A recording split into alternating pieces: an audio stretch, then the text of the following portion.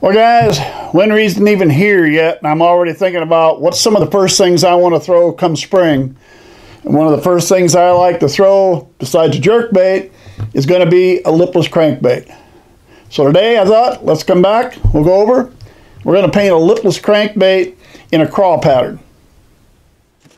All right, well, if we're going to be doing a lipless, that means we don't have any lip to hang on to. We'll be using the helping hands today.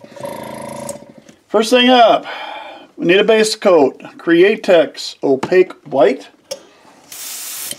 Just give ourselves a good base coat all the way around.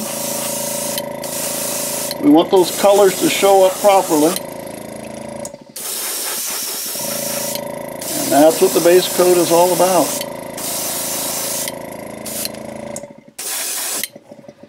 There we go. Got that done. All right, let me clean out the gun. We'll move on to some colors. For the belly, we're going to start out with the Walmart colors. And again, the Walmart Apple Barrel. Uh, 50 cents a bottle, but it's really thick. You're going to need to thin it. Said there's a lot of commercial thinners if you want. I basically have used water. Haven't I had any problems. This one is called Cool Blue.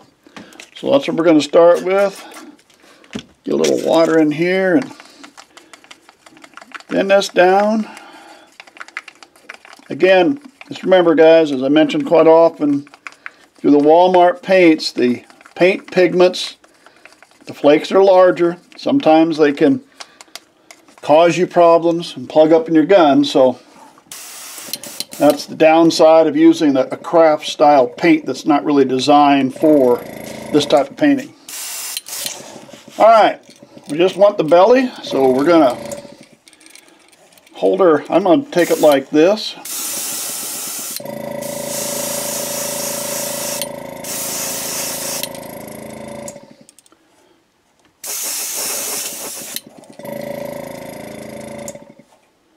There we go.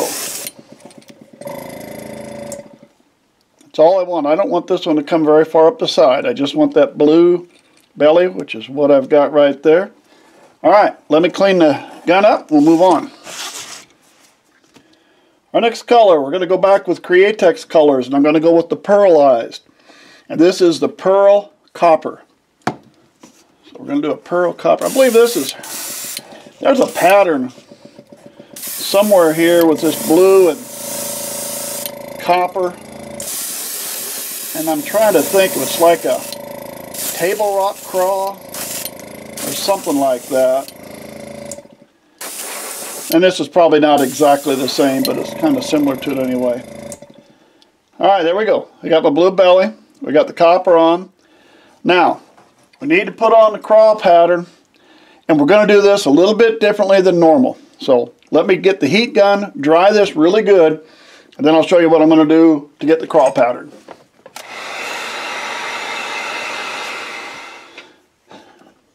All right, we want to make this a craw pattern. Now, usually when we're doing something like this, most guys you're going to have a stencil. There's all kinds of stencils. You can have one that's made specifically for the lure that clamps over it. You just paint it. And when you take it off, it shows up. I've made my own stencils. This one's marked right and left, where I can just set it on here. You paint basically on this. You let the drift go over.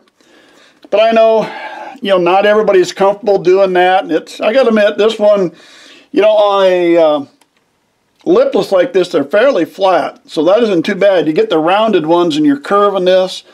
And I know some people might feel, you know, a little uncomfortable doing that. Again, I'm going to show you a different way, but let's remember, I just paint these to catch fish. I'm not trying to make something really fancy that I'm going to sell to somebody. All right?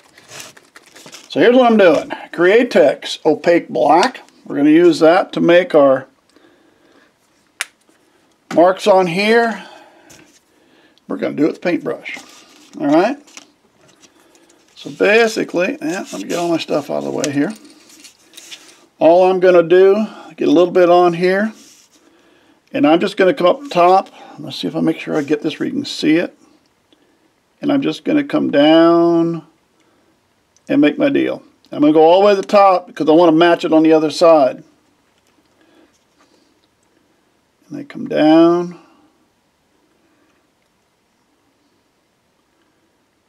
And make my deal. If you don't uh, shake as much as I do when you get old, you do that. Probably come out better, but... And one more small one back there just for the heck of it, huh? Now I'm going to come around, come across the top, make sure I can see those marks from this side real well. And we're just going to duplicate it and do it again.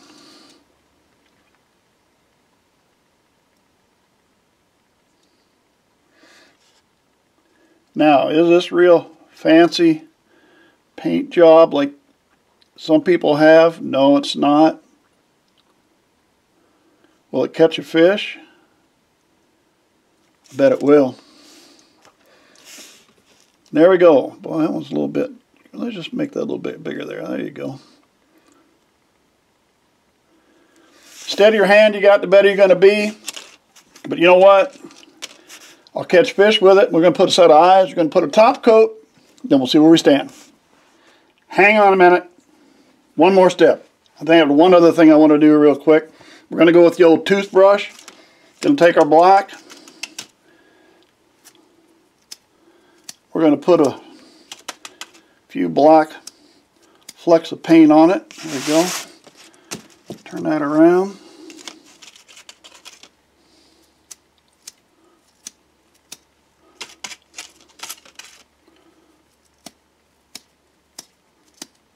There we go. All right, just a little something extra. Take a little black paint, use the old toothbrush and put a few marks on it. All right, now we'll put a set of eyes and a top coat. Well, there we go. Now, this is not some kind of a lure that somebody's going to want to buy from you. As you can tell, painting the markings on with the brush is not nearly the same as using the air gun. But if you're just starting out, if you're not quite sure of yourself to be trying to paint a craw pattern and work around those stencils, don't let that stop you. Get a brush, paint them on, and take it out fishing. Because I'll guarantee you, the fish isn't going to care. Thanks for sticking with me. Subscribe to the channel. Hope to see you again real soon.